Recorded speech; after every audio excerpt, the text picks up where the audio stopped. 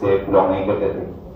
मैं जिस जगह से बिलोंग करता हूँ वहाँ पर हर माँ बाप का सपना होता है अपने बच्चों को लेकर के कि मेरा बेटा I S I doctor engineer बने। लेकिन मैंने थोड़ा कुछ अलग हट करके सपना देखा था हज़ारों की भीड़ में अपनी एक अलग पहचान बनाने के लिए। और ये मेरा शौक था मैं करना भी काफ़ी बढ़िया था और ये मेरा शौक था कि मैं एक्टिंग करूँ। जब भी मैं बचपन में टेलीविज़न में आ, लोगों को एक्टिंग करते हुए देखा था तो मुझे अपने आप में ऐसा फील होता था कि ये काम मैं भी कर सकता हूँ। और आज मुझे बहुत खुशी हो रही है अच्छे टीम का इतना हिस्सा बनाओ, एक परिवार का हिस्सा बनाओ। और मैंने अपने शौक को अपना प्रोफेशन बनाया। मतलब मैंने अपने पैशन को अपना प्रोफेशन बनाया। और सबसे बड़ी बात, एक अच्छी चीज़ आप लोगों के बीच में ये बता रहा हूँ कि मैं उम्र तो मेरा बहुत ज़्यादा नहीं है। पिछले चार पाँच सालों से मैं मुंबई में काम कर रहा हूँ। मैं फ़िल्म निर्माण से भी जुड़ा हूँ।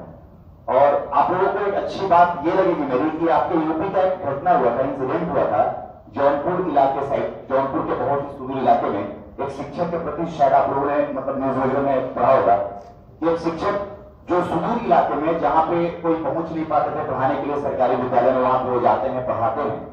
बच्चों को इतना मोटिवेट करते हैं कि जब उनकी विदाई होती है, सारे गाँव के लोग होते हैं, तड़पते हैं कि मास्टर साहब मुझे छोड़कर के मत तो मैं न्यूज़ में पढ़ करके उसके ऊपर फ़िल्म बना दिया, जिसका ट्रेलर आप लोग यूट्यूब पर देख सकते हैं, मास्टर साहब, जिसको वीडियो फ़िल्म फेस्टिवल में अवार्ड मिल चुका है। बीएचयू में बहुत फ़िल्म फेस्टिवल हुई थी, जहाँ पर मेरी फ़िल्म को अवार्ड मिला मास्टर साहब मैंने बनाई, उसमें मास्टर साहब का कैरेक्टर मैंने किया। और उस फ़िल्म में सिर्फ़ और सिर्फ़ एक अच्छा आपने कहा कि अश्लीलता या बहुत सारी चीज़ें। देखिए, मेरा मानना है, सर, कि अगर आपको अच्छाई को दिखाना है, किसी भी फ़िल्म में अच्छाई को दिखाना है तो आपको उससे भी बुराई दिखाना ज़रूरी है। जब तक हम बुराई को नहीं दिखाएँगे, हम कैसे कह सकते हैं कि चीज़ अच्छी है? अगर मुझे असत्य चीज़ों को दिखाना है या असत्य को दिखाना है तो उसके अपोजिट में आपको असत्य को रखना होगा। मेरी फ़िल्म एक बहुत अच्छा मैसेज देती है कि आज हर माँ बाप जैसा कि मैंने आपको कहा कि मेरे मम्मी पापा भी मुझे लेकर के I S I doctor engineer का सपना देखते थे हम सब जानते हैं, सर, एक शिक्षक समाज का दर्पण होता है। एक शिक्षक एक अच्छे राष्ट्र का निर्माण करता होता है। तो फिर मुझे सवाल उन माँ बाप से है कि हर माँ बाप फिर हमें हमेशा अपने बच्चों को आई एस आई पी क्यों बनाना चाहते एक अच्छा शिक्षक क्यों बनाना चाहते ताकि वो समाज में हज़ारों आई एस आई वगैरह दे सके तो इस सब्जेक्ट पे मैंने बनाई है काफ़ी अच्छा लगेगा। आप लोगों से रिक्वेस्ट है कि आप लोग ट्रेलर ज़रूर मेरा देखिएगा, पूरी फ़िल्म बहुत जल्द हम यूट्यूब पर लाएँगे।